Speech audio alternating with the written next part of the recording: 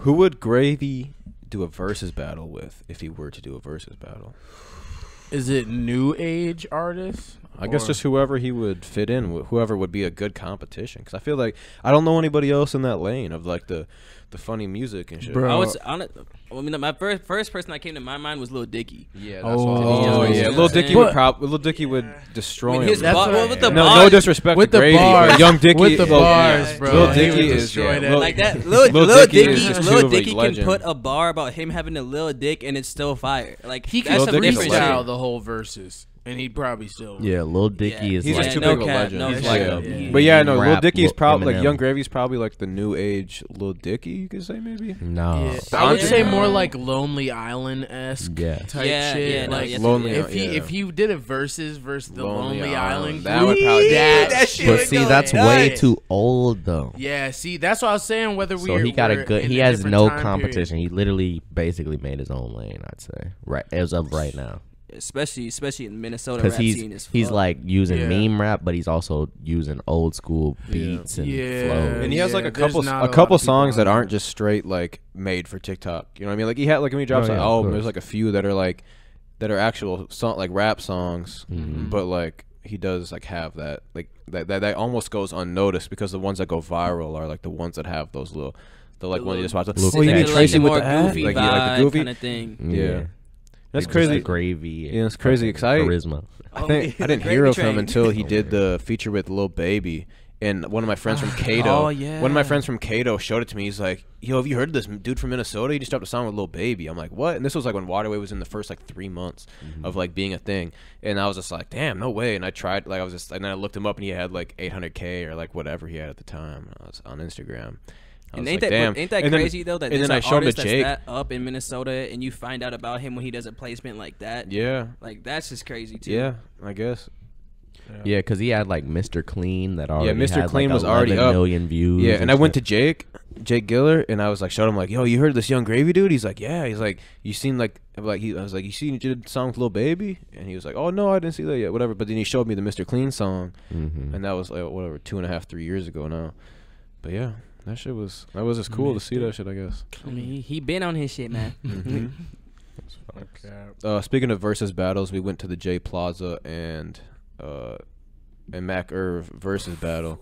I still gotta upload the vlog from that. It's coming. I feel Hell like of a that's kind of a night. timeless video. I'm finna do that. It was a bussin' bussin' event. Shout out to Trap Right. Very Their bussin'. their uh, organization and their production was great. And I was a great host. And I realized I thought Ni or I don't know his real name, but I know his host name is Ni, the white dude that was on the mic. Mhm. I know he uh he was the host of that event. I thought he was part of Trap Right, but he was just they just hired him to host the event because they just did one with Chase a Bag and um Suavo ADTMG, and it was two girls that were the host. Oh shit. So I was like, I was just like, damn, I didn't I didn't realize that that it was like. Hmm. That it was like they just had him host, so I'm like, so Trap Right. I know you're not watching this, but if you happen to be watching this, I might even maybe make this a clip. But let me host a versus battle. Let me get one of my artists on it Hell cap. yeah. and let me host it. So let me be the guy on the mic, and then let one of my artists battle against someone that you choose, or, or I could even, oh, I could find the other. I could find the other one too if you, it could want. be a full Waterwave I'll- takeover. We could put two water wipe fine. guys against each other, but I'm just gonna let you know there's not gonna be probably real beef. It's just gonna be like having fun.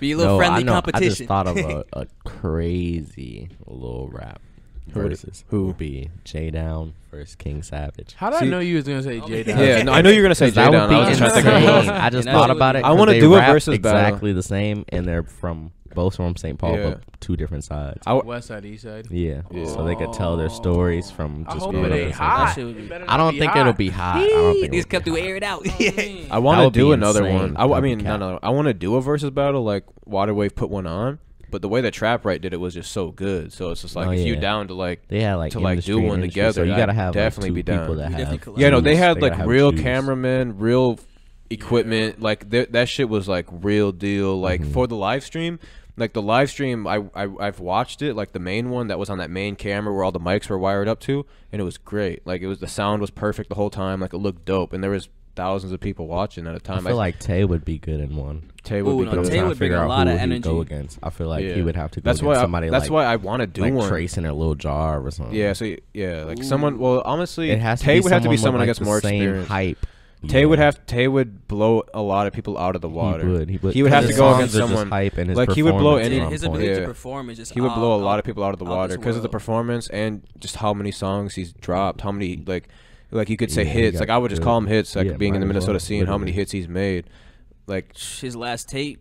his last tape. Like Fire. yeah, you can run through almost the whole and tape even the besides the tape, features. even the tape before that with the uh, big moves. Oh, Oh, yeah. yeah, yeah, What's it called? Like uh, trap, trap and peace. trap and peace. Yeah. Yeah. literally trap and peace. That was cool too. Yeah, so yeah, I don't. It's just like I could think of so many to do, Mhm. and I don't know. I guess mainly we just come to renting all the equipment or paying like a comp like people that have the equipment to run it for you. Like I don't know because like I I would obviously like- want to yeah, live stream it I don't know like what we could do it with like these mic setups and like record it, Mhm. but it just comes to like live streaming it and just having it right.